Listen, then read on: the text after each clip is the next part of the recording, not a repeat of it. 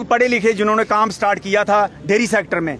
आपको पता होगा, अगर आप इनका सेंसर देखें सर्वे देखें 2015 से आज तक 50 परसेंट कैटल रह गए हैं पूरे हमारे जम्मू कश्मीर में।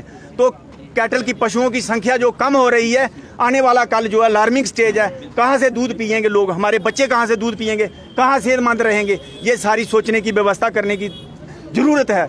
सरकार ने एक पॉलिसी लाई है आईडीडीएस उसके हिसाब से हमारे 2000 से ज़्यादा लोगों को एम्प्लॉयमेंट मिली है उनके साथ दस दस लोग उन्होंने साथ में वर्कर रखे हैं। ये इतना बड़ी व्यवस्था होने के बाद ये एजेंसी जो है हमने दरख्वास्त करी थी गवर्नमेंट से उन्होंने जो इस वक्त इनपुट कास्ट हैं बीस रुपये किलो तूड़ी का भाव कश्मीर में है चौदह रुपये यहाँ पे है बाकी सारा भी डबल हो गया।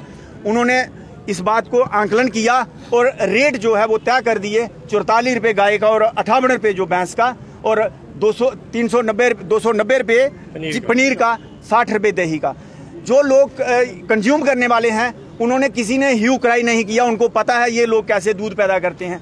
लेकिन इनके, ये कारपोरेट के जगत के लोग, ये हमारे इनोसेंट किसानों को कुचलना चाहते हैं जो इनोसेंट लोग वहाँ दो दो किलो दूध लेके आते हैं, अगर एक सीओ की इतनी एरोगेंसी है, एक हमारे प्रोविंशियल प्रेसिडेंट की बेइज्जती कर दी तो जो इनके सी एम जहाँ झुंड इनके छोटे, वहाँ पे जो लोग हैं, वो हमारे किसानों के साथ कैसी बर्ताव करते होंगे?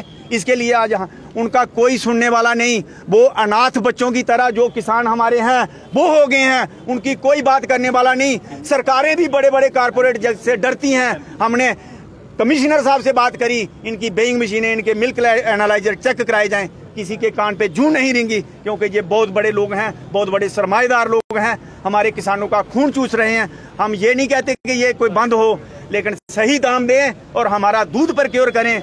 डेढ़ लाख लीटर दूध जो ले रहे हैं मेन डिमांड ये गवर्नमेंट का रेट है वो दें। वो दें।